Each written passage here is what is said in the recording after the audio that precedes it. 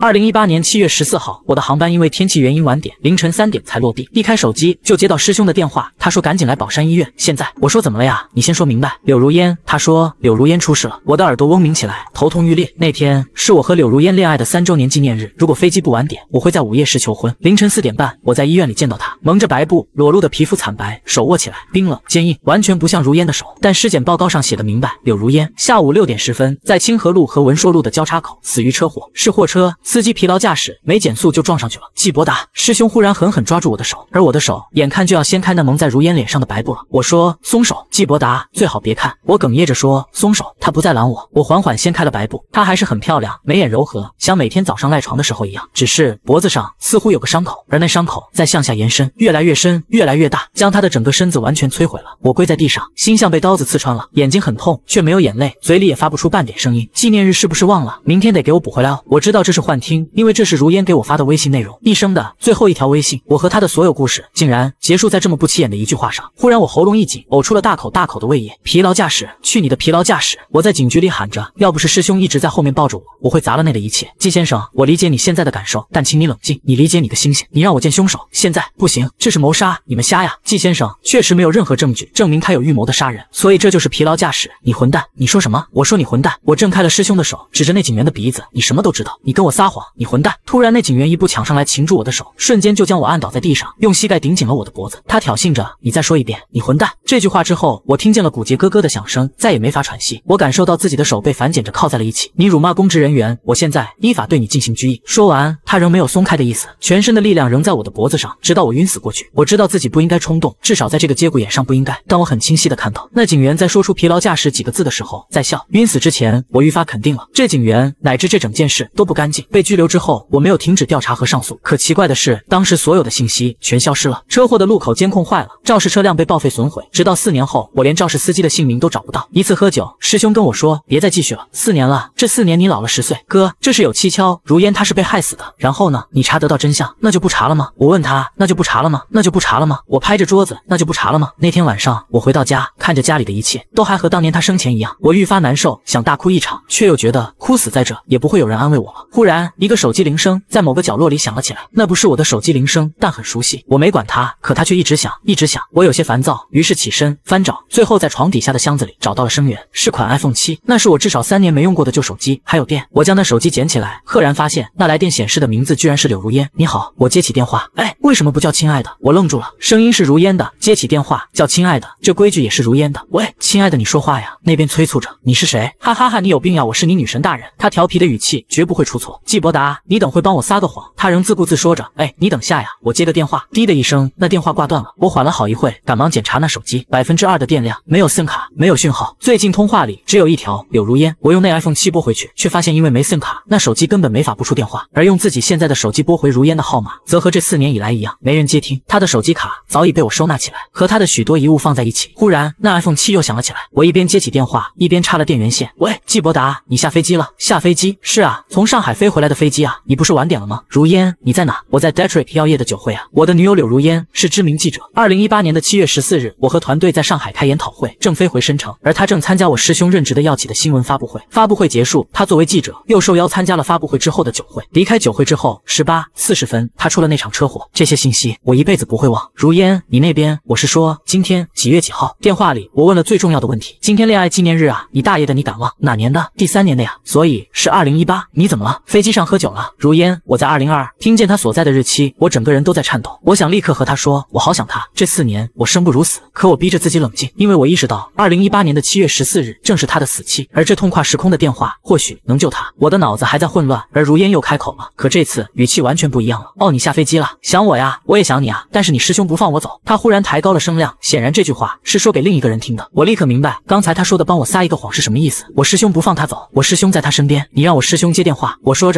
似乎已经明白了大概。电话那边沉默了几秒，接着传来了我师兄的声音。为季伯达，这么大的雷暴，飞机正点。是啊，让如烟先走吗？恋爱纪念日，我要请他吃大餐。师兄沉默了一下，季伯达，你的声音很憔悴啊。接着，那手机就被如烟抢了过去。好了，多谢亲爱的，我等会再和你说。你先别挂断，你别去青山路。哎呀，我有急事，等会说哈。乖，你别去青山路和文硕路交界，会出车祸。我吼着，可他挂断了电话。我确信他挂断时，我没说完最后那句话。我恨不得抽自己，没将这句话第一时间告诉他。而且他似乎很着急。不知道会不会在意我的提醒。之后的十几分钟，我没法再联系到如烟。那十几分钟难熬至极，天空阴云密布，雨势滂沱，云层之后雷暴蓄势待发。我不断盯着时间，十八点二十九分，十八点三十分，十八点三十一分。如果那个时空时间和这里是同步的，那么很快如烟会死于……等等，不经意间，我忽然瞄到了桌上的一张纸，那是和旧手机放在一起的如烟的尸检报告，被我一并翻了出来。窗外一道闪电将整个室内照亮，我清晰的看到那张尸检报告上的字缓缓变化，原本死于车祸的字样消失了，取而代之的是十九点十分遭遇匪徒袭击，重伤，流血过度而死。如烟的死亡原因变了，我叫柳如烟，是名调查记者。二零一八年五月，我查到 Detrick 药业某一批次的新生儿乙肝疫苗不合规，具有极高的心脏毒性，造成了过高比例的接种不良反应以及死亡超过两百起。而这批疫苗仍在生产、运输、接种。这件事在我之前很多人都知道，但没人报道。为什么？因为 Detrick 是美股上市公司，市值上百亿。记者圈里有句话：邻里之间的纠纷追查到底，资本家的黑幕碰都别碰。可是啊，我眼里不容沙子，恶心的事无分大小，我看见了就忍不了。二零一八年七月十四日，Detrick 药业慢病新药的新闻发布会，药业的市场总监高磊也是我男友的同门师兄，非要让我参加。我知道 Detrick 药业已经知道我在查什么了，想和我套近乎。会上我没有提出任何尖锐的问题，不是我给面子，是因为我在等一份报告，中医药大学孙教授团队的权威药品检测报告。报告会证明那疫苗在杀人，在杀新生儿。可那报告迟迟不到。发布会之后的酒会上，我忍不住了，想要直接去孙教授的实验室，但高磊和他手底下的一群医药代表，个个端着酒杯要找我聊家常。没办法，我打电话给男友季伯达要了一个掩护。亲爱的，你等会帮我撒个谎。正在这时，又一个电话打了进来，是孙教授。哎，你等下呀，我接个电话。我挂断季伯达的电话，接通了孙教授的。刘女士，你调查的没错，Detrick 药业在谋财害命。孙教授，您在哪？我立刻过去，快点！这件事太大，别告诉任何人。我又给季伯达打了一个电话，借着他的理由逃离了那场酒会，接着立即驱车前往了孙教授的住所。那天的雨很大很大，雷声阵阵，连绵不断。车子上了青山路，忽然一道闪电将我近旁的一棵树直接劈断。我突然有一阵不好的预感，这才想起挂断男友电话的时候，似乎听见他大声跟我说青山路和文硕路怎样怎样。可当时手机已经远离了耳朵，我根本没法听清。青山路、文硕路，车子仍然向前开着。一个十字路口，绿灯已经开始闪烁。我赶时间，立即踩了一脚油门，却忽然看见路牌上写着文硕路，这里是青山路、文硕路的交界口。交界口，车祸！我猛然想起了那通电话的最后几个音，本能的猛踩了刹车。就在此时，一辆巨大的货车从我车前呼啸而过，近的直接刮碎了车子的保险杠，在车头擦出了火星。那货车在在不远处停下，司机探出头来看了我一眼，那眼神没有歉意和惶恐，反而满是凶恶。那货车开走后，我平复了心情，这才想起老公的那通电话。他难道知道我会有车祸？但我来不及细想，时间紧急，重新踩了油门，奔向孙教授的别墅。到他家门口时，雷雨更大了。按门铃，门开，孙教授邀我坐到大厅，为了沏了杯茶。柳记者，你在这等会，我去楼下把详尽报告拷贝出来给你。报告还没准备好吗？我有些莫名其妙。电话里他明明很着急，实验室在境外，传输有点麻烦。他带着歉意笑了笑，缓步走向地下室。我喝了口茶，查终于不再焦急。此时才想起给季伯达再打一通电话，可电话刚接通，他就急切地问我：“没事了，对不对？你躲过车祸了是不是？”我被问得愣在那，说话呀，如烟，你躲过车祸了？你怎么知道的？季伯达，你怎么知道会有车祸？没事就好，没事就好。如烟，你先告诉我，你现在在哪，在做什么？他的声音仍然焦急。你怎么突然问这个？有人要杀你，如烟，有人要杀你。我顿了一顿，本能的想，不该将他扯到这事情。哈哈哈，怎么会？我强颜欢笑。柳如烟，别再瞒我。他的语气忽然变得很重。亲爱的，你叫人家全名了，别装了。他打断我，这几年乖巧女友你演得很好，但我一直知道，在外面你做事很疯。他怎么会说出这种话？柳如烟，接下来我说的话很重要，你听好。你会在十九点十分左右死于匪徒的袭击啊，具体我也不清楚，但这是你尸检报告上写的。季伯达，你在说什么？我在说你会死，很快就会死，因为这通电话穿越了时空。他语速极快，但每个字都很认真。你在二零一八年，但你在跟二零二二年的我交流，明白了吗？我在未来，我的这个时空。到这里，他忽然停了好一会。季伯达，你说我在听，在我这个时空，你已经死了整整四年了。沉默，求求你。他在开口时已经哽咽如烟，求求你相信我。我看了眼手机，发现刚刚过了十九点，窗外雨势滂沱，雷声愈发猛烈。我将所有的事都在脑子里过了一遍，忽然心里涌起一阵恶寒。我用手罩住了嘴巴和听筒，用极小的声音说：“季伯达，这么说我已经在陷阱里了。”说着，我悄声走到了地下室的楼梯口，蹲下去，试着透过楼梯与地下室天花板的一丝夹角窥探孙教授的行迹。可通过那缝隙，正看见一个穿黑色雨衣的男人站在孙教授的身后，他一手捂着孙教授的嘴，另一只手拿着刀子，已经捅进了孙教授的后腰。孙教授挣扎着，而所有响动都被窗外汹涌的雷雨声掩盖了。我紧咬住牙齿，拼命不让自己叫出声来。季伯达没骗我，我会死在这，我真的会死在这。我起身离开那楼梯，无声的大口喘息着，眼睛已经不自主的流出眼泪，被我迅速抬手擦干净。我知道现在不是哭的时候。季伯达，我轻声唤着，同时一小步一小步的退回到厅里，用尽全力让自己冷静，让自己别颤抖的太凶。季伯达，孙教授被杀了，知道了。他叹气，所以你已经在那个孙教授的家里了。是，你在什么位置？大厅。凶手在什么位置？地下室。很好，你在那里相对安全。什么？么？根据报告，你是死在别墅的小区，是户外。他的声音很镇定，让人心安。所以虽然荒谬，但我认为你始终待在别墅里更容易活下去。你是说我不投？相信我不投。我深吸了一口气，似乎也冷静了一大半。你说吧，我该怎么做？忽然，整个屋子的灯全部熄灭了。那人关了电闸。小妞，你在哪呢？尖锐的喊声从地下室传来。你现在跑到门口，打开一楼的大门，然后脱掉鞋子。门一打开，风雨声大了数倍。我赤脚的脚步声立刻隐去了。我意识到这样做会让那凶手以为我已经逃出了别墅，然后折返，用最快的速度度上到二楼主卧。到了，告诉我。我脚下不停，立即折返。可刚踏上楼梯，那黑衣歹徒已经从地下室的楼梯走了上来。我立即蜷缩在墙角，不敢动弹。而他走上大厅的地面，第一时间望向了别墅大门，将我放在了视野盲区里。他就这样站在那。那个瞬间，我离他的后背不足两米。我捂住嘴，将手机的屏幕死死扣在衣服上，不敢泄露一丝光，偷偷将手机的声音调到底。而他持着刀左右扫视了一下，那一刻，我很清楚的知道他的余光已经扫到我了。只是这别墅太暗，而我藏的地方几乎是纯黑的。无比漫长的三两秒钟之后，他终于快步走向大门，冲进了雨里。而我不敢停留，立即跑上二楼左侧的主卧里。季伯达，我到了。说完，我呼出一口气，这才发现身上已经全是汗水。好，你现在去床头柜，里面有药箱，药箱第二层有几个未开封的二十毫升注射器。找到了，我照他说的，将那注射器拿在手里，有很多安培瓶，抽哪一个？抽二十毫升空气。我愣了一下，说好。然后你打开主卧浴室的喷头，那歹徒重新找回别墅，会明白你是在故意引导他搜查这间卧室，所以他的注意力八成会在二楼的另一个房间。而你，我应该再上几节楼梯，隐藏在扶手边，等他走到二楼平台，直接刺入他的颈动脉，注射针管内所有的空气。如烟自始至终没问过我为什么知道孙教授家的样子，没问我这个计划有没有把握。这可能是三年来的默契。实际上，在如烟打来第二通电话之前，我早已根据尸检报告到了孙教授的家。二零二二年，这房子仍然保持着原样，估计因为死过人，一直空着。我踹碎了玻璃，闯了进去，将里面走了个遍。电视柜上的摆件，酒柜上的瓶子，最靠谱的是厨刀，但是以厨刀的锋利程度和如烟的力量，根本没法刺出有效的伤口。然后我发现了注射器，二楼主卧的床头柜里有未开封的二十毫升注射器，以及一些应急药物，显然是独居的孙教授为了防备心梗一类的突发疾病设下的防备措施。而这注射器比刀子好用多了，相对刀刃，针头更易刺入皮肤，针管长度不过一掌宽，便于迅速推药。而想要用这东西杀人，不需要什么药物，在人体内注入空气就行。如果如烟能刺中颈动脉，几十毫升的空气就能致命，哪怕偏一些，空气栓塞也足以引起剧痛，导致那凶手失去行动力。可如烟打开二楼的淋浴喷头之后，我在时空的这一侧，还是忍不住胡思乱想起来，这是不是最好的方法？不见得，确实有风险更低的，只是不够有效。不能让他逃吗？能，但出了别墅，未知更多。那如果他死在这怎么办？如果他死在这，死在我的计划里，我自杀陪他。反正这四年没他的日子，远不如死了舒坦。季伯达，我听见如烟在电话那一头轻声唤我，别说话了，他快来了，就说一句，等会没机会说了。他竟然又恢复了那调皮的语气，那快说，亲爱的，我好喜欢你啊。嘘，他忽然要我噤声，之后便安静了下去。几秒钟后，我听见了皮鞋顿重的脚步声，脚步声越来越大，越来越近，隐隐的，我听见如烟手指握紧针管的微响。忽然一声炸雷，竟然同时从窗外和手机里传来，雷声滚滚，绵延了数秒，继而窗外、手机里都安静了下去。可是楼梯的扶手上隐隐出现了几道裂痕，那是搏斗的痕迹。半晌，我颤抖着开口问如烟：“你没事吧？”而手机里传来了一阵笑声，阴雾诡异。他不在这里，只有我。柳如烟这边，那凶手的脚步越来越近，可我发现自己已经不会再颤抖了。我知道季伯达的这个计划有极大的风险，可是做调查记者这些年，有风险的事我做的太多了。那凶手很慢，脚步沉稳，似乎在发觉我没有逃出别墅之后，更加谨慎了。我在脑子里迅速复盘所有计划，一遍遍预演自己的偷袭。不一会，我听见他的脚步已经上了二楼的平台，他没有着急行动，在那里站了更久。忽然一道闪电将整个房内照亮，他的背影被映照在远处的墙上，那影子大幅度的晃动。他在用匕首刺向楼梯的扶手后的藏身处。那歹徒重新找回别墅，他知道你是在故意引导他搜查这间卧室，所以他的注意力八成会在二楼的另一个房间。我应该再上几节楼梯，隐藏在扶手边，等他走到二楼平台，刺入他的颈动脉，注射针管内所有的空气。等等，怎么不能藏在扶手边？为什么？如果你是一个弱女子，藏在这里没问题。我是啊，可是刚才你用开别墅门的方式耍了那凶手一次了，他眼里你不再是一个弱女子，而是一个有谋划能力的对手。老公，你想说什么？不能躲在这里，要把思维反过来，躲在浴室最危险的地方。你让我躲在浴室，风险很大。是啊，但我喜欢。他沉默了下去，这种时刻安慰变得很多余，但我还是开了口。季伯达，别说话了，他快来了，就说一句，等会没机会说了。那快说，亲爱的，我好喜欢你啊。他顿了一顿，我也是。季伯达预料的没错，那凶手这一次率先刺向了楼梯扶手后的藏身处，那是离他最近的掩体。然后他跟着喷头的声音走进了卧室。如烟，你没事吧？电话里传来季伯达的声音，而此时电话被我放在了主卧床上。那凶手拿起了电话，回复说他不在这里，只有我。他中计了，这电话是用来拖延时间的。而我此时躲在浴室里，已经准备好了一切。花洒喷着水箱里早被烧开的水，地上是被巨量沐浴露铺满的湿滑瓷砖。砰！他猛地踹开浴室的门，大步走了进来，而我迅速将花洒对准了他的脸。他猛地嚎叫了一声，本能的躲闪，终于滑到，右臂撞在马桶的沿上，发出实在的闷响，一定很痛。但他竟仍然紧紧抓着匕首，那也没办法，那也不能放过这唯一的时机。我猛地扑向他，骑在他的腰上，只有这样，我才能确保他没法躲开我的针头。皮肉被刺破的声音很轻微，但我听见了。一瞬间，他没撞到的那只左手抓住了我的手腕，但我针管里的空气已经刺入了他右侧的脖子，二十毫升颈动脉。他愣愣地看着我，眼神阴森。可等我缓缓起身，他已经无法动弹。我注射的空气不多，只会让你暂时性瘫痪，呼吸循环受阻，头痛，但是你会活下去。我从他颤抖着的手里抢走了刀子，起身离开了浴室。你等警察吧。对不起，是他们逼我把你引过来的，但报告还在。我跑到地下室的时候，孙教授仍有气息，只是失血过多，眼看难以支撑了。说完最后一句话，他缓缓抬手指向天花板。我拿到药检数据了，打给季伯达时，我很兴奋。季伯达有了这些，Detrick 药液一定会到。季伯达可那边沉默着，说话呀。你的尸检报告变了，没事啊，我们配合，什么都躲得过。我是说，这整张纸都变了。他似乎在强撑着不让声音颤抖着。现在他成了一张失踪人口证明，有警局的公章。如烟，如果是失踪，就没有具体的死亡时间了。虽然早有准备，但听到他的话时，心里还是涌上了一股庞大的压抑。嗯，没关系，季伯达还不一定呢。我这不是还没死吗？你现在就去警局，让警察保护你。我已经报警了，他们在来的路上。不行，你主动去警局，越快越好。他着急的样子很可爱。我于是走出地下室，准备出门开车去往警局。可刚一出门，却发现远处数辆黑色奔驰驶入了小区正门。我心里清楚，那是 Detrick 药业的爪牙。荒郊的别墅区，他们竟比警察幺二零都要快。他们终于不再留守了。对了，季伯达，你帮我查一下，在你的时空，Detrick 药业倒了吗？没有，别急着回答我，你查一查吗？我一直在盯着 Detrick 的信息。如烟，他还在，是吗？而且市值比三年前高了两倍，也就是说，我手里的检测报告根本没报道出去。如烟，现在不是说这些的时候，现在你要尽快去警察局。季伯达，我逃不掉了。Detrick 出动了这样数量的人马，逃已经没了意义。毕竟我手里的只是一通来自未来的电话，不是手枪。我坐在了别墅客厅的沙发上，静静等着。什么叫逃不掉了？你什么意思？季伯达追问着。季伯达，我们聊会天吧。最后聊会天。他沉默了许久。好，二零二二年是什么样子啊？发生了很多很多事，国际上好乱啊，但咱们挺稳的。尤其，哎呀，我不要听那些，我要听你发生的事。我没发生什么呀。你结婚了没？嗨。没，那你肯定谈新女朋友了。怎么样？有没有比我漂亮？什么跟什么呀？说嘛，我们谁漂亮？我没有新女朋友，四年了，一个没有，没有，哈哈哈！干嘛？忘不掉我呀？对啊，如烟，嗯，我在。是不是后悔当年和我表白啊？后悔和我表白？我和你表白是那天你一早醒来就管我叫亲爱的。你少来，前一天晚上凌晨五点你表白的，你做梦梦见的吧？你不承认，你后悔了？什么不承认？压根没有的事，你就是后悔了，是不是？后悔什么呀？后悔和我在一起了，后悔跟我这种人在一起，说没就没了，不会后悔的。不信？切，你爱信不信？那些车子